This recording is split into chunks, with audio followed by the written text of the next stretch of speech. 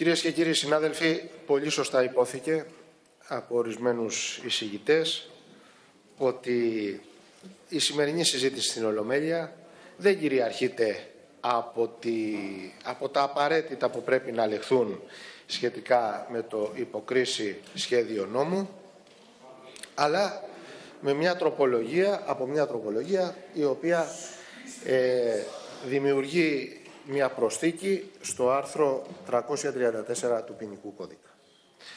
Στην αρχή της συνεδρίασης τοποθετήθηκα επί του θέματος αυτού.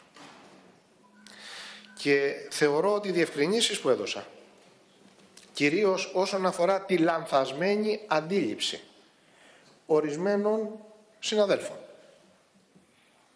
ότι πρόκειται η παράγραφος 3 όπως έρχεται στην τροπολογία, ότι είναι μία νέα εξ ολοκλήρου νομοθετική παρέμβαση της κυβέρνησης, νομίζω ότι διευκρινίστηκε. Οι συνάδελφοι οι οποίοι είχαν μία επιφύλαξη και μία άρνηση σχετικά με τη συγκεκριμένη τροπολογία, θεωρώ ότι κατάλαβαν, άλλο δεν το λένε, ότι δεν πρόκειται περί νομοθετικής ρυθμίσεως εν όλο, διότι η παράγραφος αυτή υπήρχε στον ποινικό κώδικα, γι' αυτό ζήτησα από τον κύριο Πρόεδρο να μοιραστεί σε όλους τους συναδέλφους η υφιστάμενη διάταξη, αλλά πρόκειται περί μιας προσθήκης, η οποία προστατεύει τους συμβολεογράφους, που πλέον δεν ασκούν τα καθήκοντά τους κατά τη διαδικασία της αναγκαστικής εκτέλεσης, δηλαδή κατά τον πληστηριασμό μόνο σε δημόσιο χώρο, αλλά μπορούν να, το, να τα ασκήσουν και σε ιδιωτικό, σε αυτή την περίπτωση. Και καθιστά, όπως στην πρώτη περίπτωση, έτσι και σε αυτή, το αδίκημα αυτεπαγγέλτος διοκόμενο. Εάν διαφωνούμε επ' αυτών που λέω, εάν διαφωνούμε, βλέπω κύριε Γιώκα να το κεφάλι σας. Σας παρακαλώ επ' αυτών που λέω να μου πείτε τη διαφωνία σας. Έτσι. Διότι κάτι περισσότερο από αυτό που σας είπα μόλις τώρα και που το είπα και το πρωί η κυβέρνηση δεν κάνει εάν δεν βάλετε τα άρθρα του ποινικού κώδικα αυτό που υπήρχε και αυτό που θα ψηφίσουμε τώρα θα δείτε πέρα ότι αυτό που σας λέω ισχύει. Κάτι περισσότερο. Άλλωστε, επ' αυτόν που λέω τώρα ήταν και η τοποθέτηση του κοινοβουλευτικού σας εκπροσώπου, του κυρίου Παφίλη και νομίζω ότι εδόθησαν οι απαραίτητες εξηγήσεις. Θέλω όμως να πω κάτι ε, το οποίο είναι ανάγκη να ακουστεί. Κυρίες και κύριοι συνάδελφοι, η κυβέρνηση εδώ και περίπου 10 μήνες νομοθέτησε τη διενέργεια ότι οι πληστηριασμοί δεν θα ενεργούνται μόνο με φυσικό τρόπο στα ειρηνοδικεία, αλλά θα ενεργούνται και ηλεκτρονικά. Θέλω να σας πω, όπως το είχα πει και τότε, ότι η διαδικασία αυτή των ηλεκτρονικών πληστηριασμών είναι μια απολύτως θετική διαδικασία, την οποία έπρεπε να είχε νομοθετήσει η Βουλή πριν 20 χρόνια, όταν πλέον όλες οι χώρες του κόσμου τουλάχιστον της Ευρώπης, εκκινούνται προς αυτή την κατεύθυνση για τους εξής λόγους. Κυρίες και κύριοι συνάδελφοι, ιδίως οι δικηγόροι, θυμόμαστε τι καταστάσεις επικρατούσαν στους πληστηριασμούς. Σας λέω ότι στην αρχή αυτής της πορείας οι πληστηριασμοί εγένονται στους Δήμους, στα δημοτικά καταστήματα. Και εκεί οποιοδήποτε μπορούσε να εμφανιστεί και να πλειοδοτήσει στη διαδικασία εκείνη. Και θυμάστε κύριοι συνάδελφοι, τι τραγικές καταστάσεις για την ένομη τάξη ελάμβαναν χώρα με ακόμα ακόμα και την παρουσία μελών του υποκόσμου οι οποίοι τρομοκρατούσαν υποψήφιους πλειοδότες να μην λάβουν μέρος στον πληστηριασμό και τελικά να εκπληστηριάζονται ακίνητα για το τίποτα. Θα θυμόσαστε αυτά. Αυτή την παθογένεια προσπάθησε να διορθώσει η κυβέρνηση του Πασόκ νομίζω ε, νομοθετώντας τη διαδικασία ενώπιον, στα, όχι ενώπιον, στα ειρηνοδικεία με κλειστές προσφορές. Και πάλι διαπιστώθηκε με το... Ήταν μια προσπάθεια ακριβώς να αποκλειστούν αυτοί οι τύποι του υποκόσμου που σας είπα, που όλοι τα βλέπαμε. Είχε καλή προαίρεση δηλαδή αυτή η προσπάθεια. Δυστυχώς όμως και αυτή ήταν αλυσιτελής. Γιατί; Διότι με τις κλειστές προσφορές δεν υπήρχε η δυνατότητα να επανέλθει κάποιος πλειοδότης και πού κατέληγε όλη αυτή η διαδικασία; Ένα ακίνητο να εκπληστηριάζεται κατά κυριολεξία για ένα κομμάτι ψωμί. Δηλαδή ένα ακίνητο είχε μια εμπορική αξία, για παράδειγμα σας λέω τώρα, 50.000 ευρώ και τελικά ο πληστηριασμός κατέληγε με την καλύτερη προσφορά στις 5 ή 15.000 ευρώ. Είναι λοιπόν πρώτα και κύρια υποχρέωσή μας και αυτό έκανε η κυβέρνηση με τον νόμο για τους ηλεκτρονικούς πληστηριασμούς. Αυτό τον πολίτη, ο οποίος βρίσκεται σε μια δεινή θέση, σε μια δύσκολη θέση, να βλέπει να εκπληστηριάζεται ένα κινητό ή ακίνητο της περιουσίας του, να τον προστατεύσουμε. Και η προστασία δεν είναι να μην γίνονται πληστηριασμοί, κύριε συνάδελφοι. Το λέω σε όλους. Η προστασία είναι η διαδικασία του πληστηριασμού να είναι διαφανής, να υπάρχει έλεγχος σε αυτή τη διαδικασία και τελικά να καταλήγει στο μέγιστο δυνατό εκπληστηρίασμα. Η διαδικασία λοιπόν του ηλεκτρονικού πληστηριασμού αυτά τα πράγματα τα διασφαλίζει. Διασφαλίζει και τον έλεγχο και τη διαφάνεια και την ακόλυτη συμμετοχή περισσότερων πλειοδοτών με αυτό τον εύκολο τρόπο που δεν χρειάζεται ούτε καν η μετακίνηση κάποιου για να πάρει μέρος στον πληστηριασμό, ούτως ώστε να επιτευχθεί το μέγιστο δυνατό εκπληστηρίασμα. Αν συμφωνούμε σε αυτά, νομίζω ότι δεν χρειάζεται να πούμε κάτι περισσότερο ότι οι ηλεκτρονικοί πληστηριασμοί ήλθαν για να πετύχουμε αυτά που σας περιέγραψα και τίποτα άλλο. Όλα αυτά που αναφέρονται, ότι οι ηλεκτρονικοί πληστηριασμοί γίνονται για να μην μπορούν κάποιοι να διαλύουν τους πληστηριασμούς και να μην δημιουργούν καταστάσεις έκνομες, αυτά κυρίες και κύριοι συνάδελφοι, ξέρετε, θα τα ακούει κάποιος μετά από μερικά χρόνια και θα γελάει. Διότι εμείς δεν νομοθετούμε μόνο για το τώρα, νομοθετούμε για μια διάρκεια ετών χωρίς το βάρος παρόμοιων καταστάσεων. Και αυτή είναι η ευθύνη μας απέναντι στην κοινωνία και απέναντι στους πολίτες. Δεύτερον, αναφέρθηκε εδώ πάρα πολλές φορές σχετικά με την προστασία της πρώτης κατοικίας.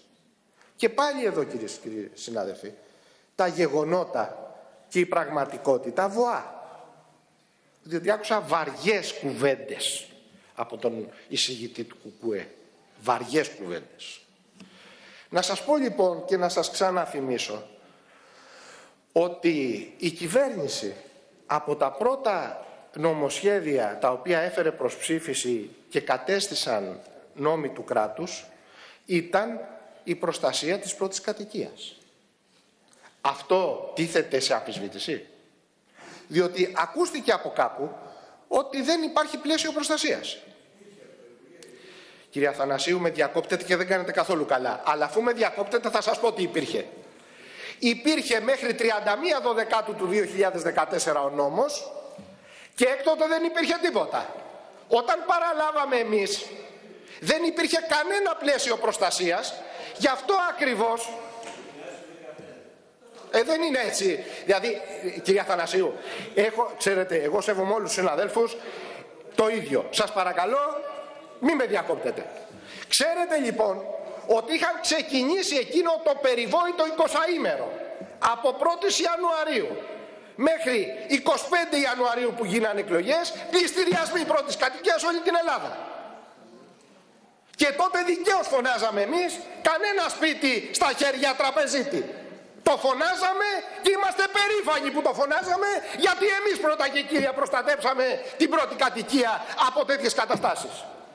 Και νομοθετήσαμε κυρίες και κύριοι συνάδελφοι πάνω σε αυτό το ζήτημα.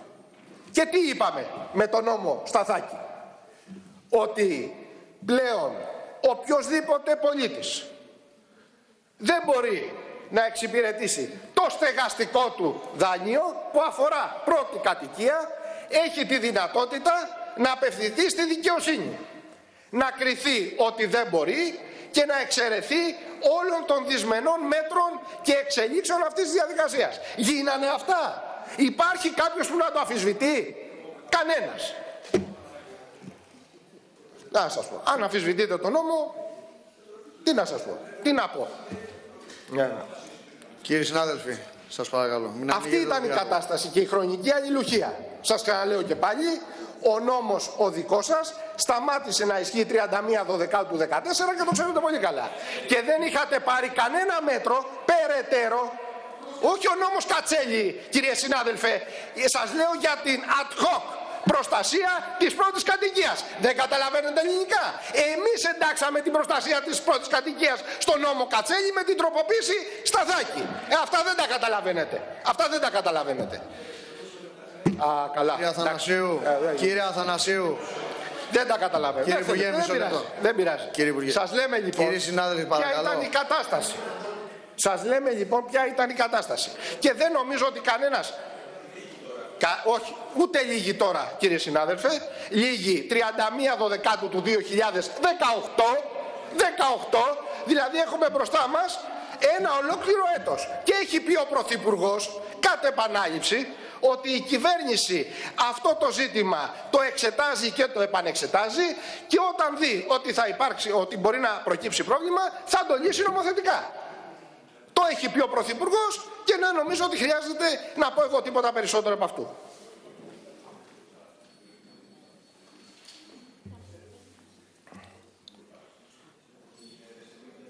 Η κυβέρνηση λοιπόν, η κυβέρνηση λοιπόν είχε νομοθετήσει την προστασία της πρώτης κατοικίας για στεγαστικά δάνεια τα οποία είχαν λάβει συμπολίτες μας, συνάνθρωποι μας που ξαφνικά με την έναρξη της κρίσης βρέθηκαν να μην μπορούν να το εξυπηρετήσουν αυτό το δάνειο.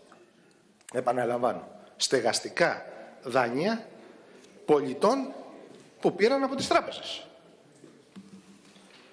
Γι' αυτό και το σύνθημα κανένα χέρι, κανένα σπίτι στα χέρια τραπεζίτη, για μας, επαναλαμβάνω πείτε το όσες φορές θέλετε, το αποδεχόμαστε απολύτως. Όποιος θέλει αυτό λέει. Γιατί το λέμε και τώρα. Η προστασία της πρώτης κατοικίας, της λαϊκής κατοικίας είναι για μας πρώτο και κύριο ζητούμενο. Και γι' αυτό την προστατεύουμε απολύτως. Κυρίες και κύριοι συνάδελφοι, είχε πει ποτέ η κυβέρνηση ή είχε προτείνει κάποιος ότι από τους πληστηριασμούς πρέπει να εξαιρεθούν ιδιωτικά χρέη; Διότι αν το Μα, μα ούτως ή άλλως δεν μπορεί να γίνει, κύριε Λάπα, σωστά το λέτε. Αλλά τουλάχιστον να το είχε πει κάποιος, έστω αυθερέτως. Δηλαδή, κυρίες και κύριοι συνάδελφοι, ένας έμπορος που έχει ένα χρέος στον προμηθευτή του, ο προμηθευτής μετά από μια διαδικασία μακρά δικαστική, διότι αυτό το βγάζουμε από τον λογαριασμό. Μια μακρά διαδικασία που πλέον έχει στα χέρια του εκτελεστό τίτλο θα τον υποχρεώσουμε να μην εκτελέσει την απόφαση και να καταστραφεί και ο ίδιος οικονομικά; Υπάρχει κάποιο νομικό πεδίο στο οποίο να στηρίζεται μια τέτοια απόφαση; Ένας εργαζόμενος κυρίες και κύριοι συνάδελφοι, ο οποίος έχει απέτηση εναντί του εργοδότη του. Αυτός δεν θα κάνει ούτε αυτός πληστηριασμό για να εισπράξει τα δεδουλευμένα. Ούτε αυτός. Θα προστατευτεί και αυτή η κατάσταση. Ακόμα κι αν έχει πρώτη κατοικία ο εργοδότης. Θα τον προστατεύσει ποιος; Μία σύζυγος. Αυτά σας λέω είναι παραδείγματα που τα ζούμε οι δικηγόροι κάθε μέρα. Η οποία διεκδικεί από το σύζυγό της τη διατροφή των παιδιών. Ούτε αυτή θα φτάσει στον πληστηριασμό να εισπράξει τα χρήματα τα οποία ανάγονται στη διατροφή και στην ε, ζωή των τέκνων. Τίποτα, κανένας, ε. Τι ωραία. Αυτή, ε, αυτή θα είναι η ένωμη τάξη στη χώρα.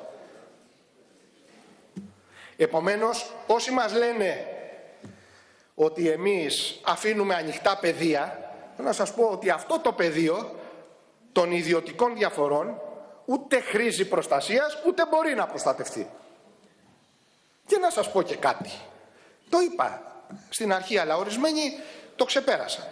Δεν μου λέτε κυρίες και κύριοι συνάδελφοι. Έχετε εσείς υπόψη σας αυτή την περίοδο που ορισμένοι έρχονται στα ειρηνοδικεία και παριστάνουν τους αγανακτισμένους και διαμαρτυρόμενους; Εκείνη την ώρα στο ειρηνοδικείο ή στο γραφείο του συμβολιογράφου να βγαίνει καμιά πρώτη κατοικία, λαϊκή κατοικία από στεγαστικό δάνειο δανειολήπτη τράπεζας. Διότι εμείς σας λέμε ότι έχουμε συστήσει παρατηρητήριο και παρακολουθούμε έναν προς έναν τους πληστηριασμούς και δεν υπάρχει κανένας. Ποιοι πληστηριασμοί γίνονται, κυρίες και κύριοι συνάδελφοι, πριν δέκα μέρες εκπληστηριάστηκε ακίνητο δανείου, προσέξτε τα νούμερα, ένα εκατομμύριο 450.000 ελβετικά φράγκα με ηλεκτρονικό πληστηριασμό και κάτω από το γραφείο της συμβολιογράφου υπήρχαν διαμαρτυρόμενοι πολίτες οι οποίοι ζητούσαν να μην διενεργηθεί ο ηλεκτρονικός αυτός πληστηριασμός. Να τους συγχαρούμε. Σας ρωτώ κύριοι συναδελφοί ακίνητο για το οποίο ο δανειολήπτης. Έλαβε δάνειο ένα εκατομμύριο 450.000 ελβετικά φράγκα πρώτη κατοικία πρώτη κατοικία η οποία δεν εμπίπτει στην προστασία του νόμου διότι ξέρετε ότι η προστασία κλιμακώνεται μέχρι 280.000 ευρώ για οικογένεια με τρία παιδιά. Υπήρχαν στο γραφείο της συμβολιογράφου διαμαρτυρώμενοι για να προστατεύσουν τον φτωχό αυτό άνθρωπο, ο οποίος είχε φτιάξει μια ωραία βίλα με πισίνα στην Κηφισιά και έπρεπε να προστατευτεί. Και ζητούσαν να μην συνεχιστεί ο πληστηριασμός. Πείτε μου, έχει καμία λογική με το κίνημα προστασίας της πρώτης κατοικίας, της λαϊκής κατοικίας, αυτό που σας λέω; Και πείτε μου λοιπόν, εσείς που διαμαρτύρεστε σχετικά έγινε κανένας πληστηριασμός, όχι με ηλεκτρονικό τρόπο, με φυσικό πληστηριασμό στο ειρηνοδικείο, που να αφορά πρώτη κατοικία και λαϊκή κατοικία και αποδίδεστε σε αυτές τις εκφράσεις. Εγώ περιμένω να μου πείτε έγινε του τάδε τότε εκεί. Πρώτη κατοικία δανειολήπτη για στεγαστικό δάνειο. Λαϊκή κατοικία πρώτη κατοικία. Καμία κυρίες και κύριοι συνάδελφοι. Και το, και το λέω αυτό για να το ακούσει ο ελληνικός λαός. Καμία διαδικασία δεν υπήρξε ενώπιον υπαλλήλων πληστηριασμού για αυτό που λέμε πρώτη κατοικία και λαϊκή κατοικία. Και κάνετε και κάτι άλλο, το οποίο είναι χειρότερο αυτού που λέω. Διότι κάποιοι μπορεί να έχουν άγνοια και πολλοί μπορεί, πολλοί μπορεί από αυτούς που προστρέχουν να δήθεν να διαμαρτυρηθούν, να μην γνωρίζουν. Ποιοι πληστηριασμοί διενεργούνται; Δεν αναφέρουμε σε αυτούς που δεν ξέρουν το, τα συγκροτήματα τύπου και κυρίως το συγκρότημα του κυρίου Μαρινάκη, ο οποίος έβγαζε κάθε τις και λίγο τεινά περιπτώσεις και διαψεύδετο μία προς μία από το Υπουργείο Δικαιοσύνης. Δεν αφορούσε καμία την πρώτη κατοικία και λαϊκή κατοικία. Οι περισσότερες ήταν ιδιωτικά χρέη γίνεται κάτι άλλο, το οποίο ξαναλέω είναι χειρότερο. Επειδή ακριβώς δεν υπάρχει κανένας πληστηριασμός, κανένας, ορισμένοι αναφέρθηκαν σε κατασχέσεις. Ξέρετε κυρίες και κύριοι συνάδελφοι, για όποιοι δεν είναι νομικοί, άλλο η κατάσχεση και άλλο πληστηριασμός. Και μάλιστα αναφέρθηκαν σε κατασχέσεις που διενεργούν δημόσιοι λειτουργοί κατά την έννοια του νόμου και στο πλαίσιο των καθηκόντων τους. Διότι και εδώ θα σας πω, για πείτε μου, εδώ στη Βουλή, που μας ακούνε όλοι και μας ακούει και ο ελληνικός λαός, εκ μέρους του Δημοσίου και ασφαλιστικών ταμείων, έφτασε κάποια κατάσχεση σε πληστηριασμό, διότι εμείς δεν έχουμε υπόψη μας, αν έχετε εσείς πείτε μας, αλλά να προσπαθείτε να δημιουργήσετε κλίμα λέγοντας γίνονται κατασχέσεις για ένα θέμα που αφορά πληστηριασμούς, τότε αυτό είναι λαθροχειρία. και μάλιστα σκόπιμοι για να παραπλανηθούν κάποιοι οι οποίοι δεν καταλαβαίνουν τη διαφορά κατάσχεσης και πληστηριασμού. Ενώ αυτοί που τα λένε τα ξέρουν πολύ καλά. Ότι η κατάσχεση είναι το πρώτο βήμα της αναγκαστικής εκτέλεσης η οποία καταλήγει στον πληστηριασμό και μεσολαβούν δεκάδες άλλες πράξεις από ανακοπές μέχρι διορθώσεις κτλ. Ακόμα και συμβιβασμοί που αυτές οι πράξεις μπορεί να μην οδηγήσουν ποτέ σε πληστηριασμό. Εδώ λοιπόν κυρίες και κύριοι συνάδελφοι, αντί να διορθωθεί ένα λάθος που έγινε στην αρχή και να πούν κάποιοι δεν το είχαμε εκτιμήσει σωστά, με παρησία. Δεν είναι κακό. Στον κοινοβουλευτικό διάλογο συμβαίνουν. Εγώ προηγουμένως είπα ότι θα προβώ σε διόρθωση όσον αφορά. Είχατε δίκιο. Αναφέρομαι στο εισηγητή του Κουκουέ. Είχε δίκιο για αυτό το πράγμα που είπε. Το αναγνώρισα. Αναγνωρίστε όμως κι εσείς. Το αναγνώρισα διότι ε, ακούσαμε, διασταυρώσαμε στοιχεία και το είπαμε με παρησία. Πείτε λοιπόν κι εσείς ότι την πάθατε, να το πείτε. Μην το πείτε έτσι όπως σας το λέω εγώ. Ε, εντάξει, θα μιλήσετε λοιπόν. Κύριε Γιώκα, σας πα... Ότι δεν διαβάσατε, ότι, ότι εκλάβατε το σύνολο της διάταξης ως τροπολογία και δεν διαπιστώσατε ότι η μόνη προσθήκη αφορά την προστασία των συμβολιογράφων οι οποίοι πλέον διενεργούν ηλεκτρονικούς πληστηριασμούς στο γραφείο τους. Σας λέω λοιπόν, κύριε, κύριε και κύριοι συνάδελφοι, αυτοί οι άνθρωποι... Θέλετε, συγγνώμη κύριε Υπουργέ, ναι. αν θέλετε, επειδή έχετε και δευτερολογία, να βοηθήσουμε ναι. λίγο και το χρόνο. Τελειώνω με αυτό. Τελειώνω με αυτό. Ε, αυτοί οι άνθρωποι, οι οποίοι προστατεύονταν από τον νόμο για τη διαδικασία στα ειρηνοδικεία, δεν πρέπει να προστατευτούν με τον ίδιο τρόπο. Χωρίς να προσθέσουμε κάτι περισσότερο ή λιγότερο, χωρίς να προσθέσουμε κάτι περισσότερο ή να αφαιρέσουμε κάτι, με την ίδια διαδικασία να προστατευτούν και με την ίδια πρόβλεψη στο γραφείο τους. Κύριε Γιώκα, σας λέω ότι κάνουμε αυτό. Και είμαι, σας είπα, και στη διάθεσή σας και ιδιαιτέρως να μου θέσετε κάποια ζητήματα όχι, παρακαλώ. Ακόμα σας είπα σας και να σας ακούσω. Μην ανοίγετε το διάλογο. Το, αυτό, αυτό το οποίο νομοθετεί η κυβέρνηση σήμερα είναι η επέκταση της προστασίας των συμβολιογράφων και μάλιστα η προστασία αυτή να γίνεται αυτεπαγγέλτος. Αυτό είναι που νομοθετούμε. Όπως ακριβώς είναι η διαδικασία στα ειρηνοδικεία που ισχύει από το 1950. Θα μου πείτε και θα σας ακούσω. Κυρίες και κύριοι συνάδελφοι, ε, δεν θα πω κάτι περισσότερο γιατί ήδη έχω κάνει κατάχρηση, είπα θα μιλήσω λιγότερο κύριε Πρόεδρε και ήδη έχω κάνει, αλλά ήθελα για άλλη μια φορά να ακουστούν αυτά τα πράγματα. Ε, και σε τελευταία ανάλυση σας ζήτησα από όσους αντιδράτε να εμείνετε σε μια κριτική για τη διάταξη αυτή. Δυστυχώς, εκτός από το ΚΚΕ, από τα άλλα κόμματα ακούσαμε άλλους ισχυρισμούς ότι θα έπρεπε να επεκταθεί και στα πανεπιστήμια και αλλού και το ένα και το άλλο. Είναι ένας διάλογος ανοιχτός. Ιδίως σε ορισμένα ζητήματα πρέπει να ληφθούν μέτρα. Εκείνο όμως που θα ήθελα να πω είναι μην αναφέρεστε σας παρακαλώ στο θέμα των τροπολογιών κατά αυτόν τον τρόπο, ιδίως από τη Νέα Δημοκρατία.